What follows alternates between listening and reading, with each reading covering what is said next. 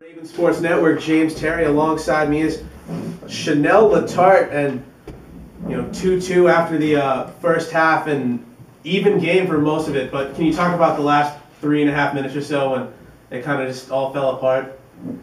I mean, we let down. The ball was going into our feet because our sticks weren't down, and then from there we were just getting down and down on each other, and the ball was in the net. Uh, you guys, uh, you opened the scoring, or Chelsea Brunel opened the scoring. Uh, how important was it to get the first goal of the game? Because I know that hasn't happened a lot for you girls this year. Yeah, it was huge. I mean, it brought up the intensity right from the start, we carried it out all the way to those last three minutes.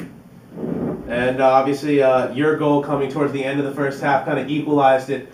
Uh, going into the break, can you take us through your goal personally and uh, how you scored uh, your fifth goal of the season right there? Uh, Tori was bringing it down the left side, and I was coming across, or she was, yeah, she was on the left. I was coming across the right, and I saw her take the shot.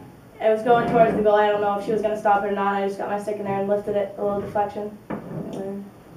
And uh, going forward, you play a lot of home games here at Sodexo Field now, but now uh, you're in a stretch where it's more road games than home games. Uh, how do you adjust your mindset as you now continue in the Northeast 10 portion of your schedule?